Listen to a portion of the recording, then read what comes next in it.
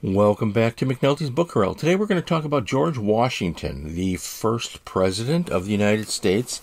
And I'm going to give you just a little bit of a rundown on which books are the best. So, as far as doing biographies, Ron Chernow, who wrote the biography on Ulysses S. Grant that I showed you in a previous episode, is also the guy that wrote this mammoth book on Washington, A Life.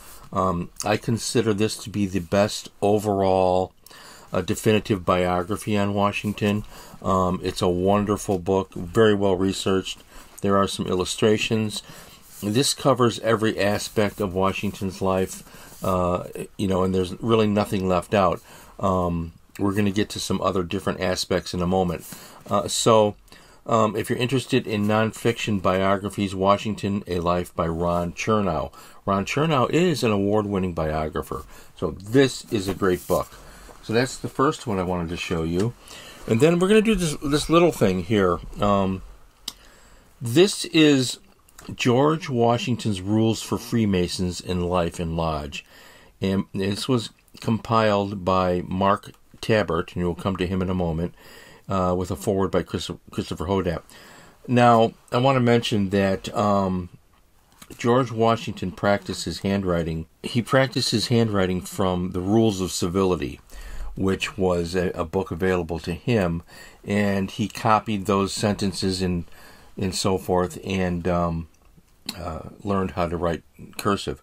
So the issue, though, is that some of these um, sayings became uh, part of Washington's lifestyle. He uh, he took to them, and uh, I'm going to read one to you so you get an idea that that you can see what um, uh, he's talking about. So these are George Washington's rules for Freemasons in life and lodge, and so let me just give you one of them here.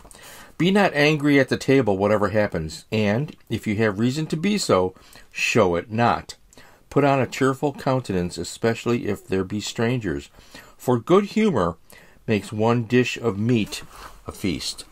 Great little wisdom from George Washington, which came from the Rules of Civility, and this little book is available at the uh, at the Macoy Masonic website. You can buy copies of it there. I think it's on Amazon, and uh, it's a great little book to have if you're interested not only in George Washington, but if you're interested in uh, Masonic lifestyle for you gentlemen in the crowd.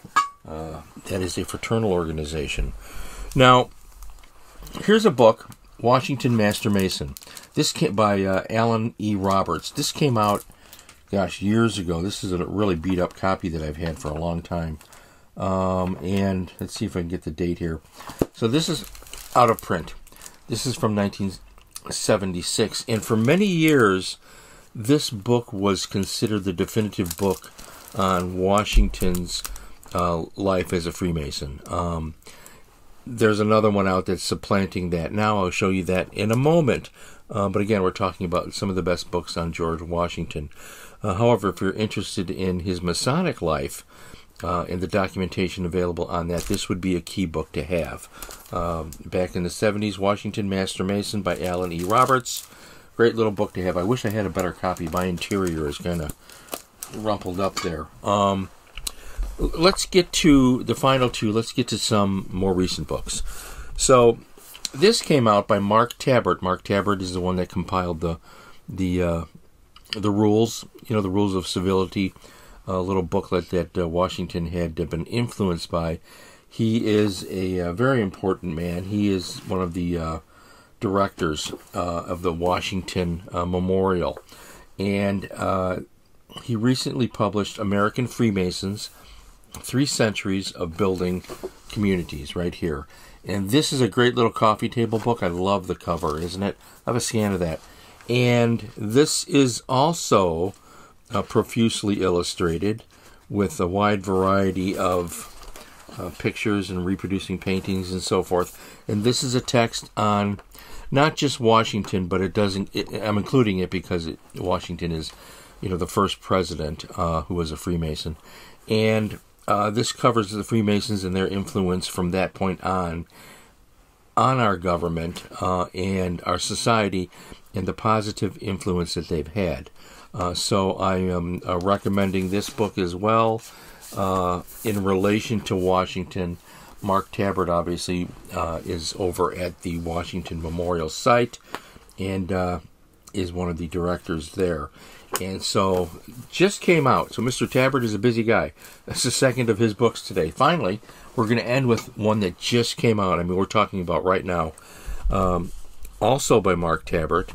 And Mark Tabbert just published a, a Deserving Brother, George Washington and Freemasonry. And this is a beautiful hardcover uh, published by the University of Virginia Press. It does have some illustrations, but it does not have as many as the other books. And when it does have illustrations, it's usually of some of the original documents that you can see there and so forth. Um, this painting, by the way, of George Washington wearing his Masonic regalia is the only painting of Washington that was created um, from life. He posed for this, I think 1873, something like that. It's listed in the book. And uh, so this is a from life painting. This is what George Washington looked like very late in his life. Uh, and it was requested uh, from a Masonic lodge. His Masonic lodge requested a painting from life. He posed for this. He sat there with his sash and his his uh, apron on right here, and so that's what George Washington looked like. A little glum, perhaps. He was quite old at the time, long past the war, long past his presidency. Um, this will now take the place of this.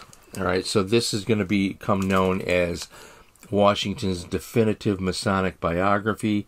This is still a good book. You should still try to find this if you're interested in that, especially for you brothers out there who are looking for something to accentuate your personal Masonic library. Um, I try to buy the better reviewed, newer ones when they come out, uh, and I have a lot um, going back many, many years. But this is the um, brand new one. It just came out. This is March 2022.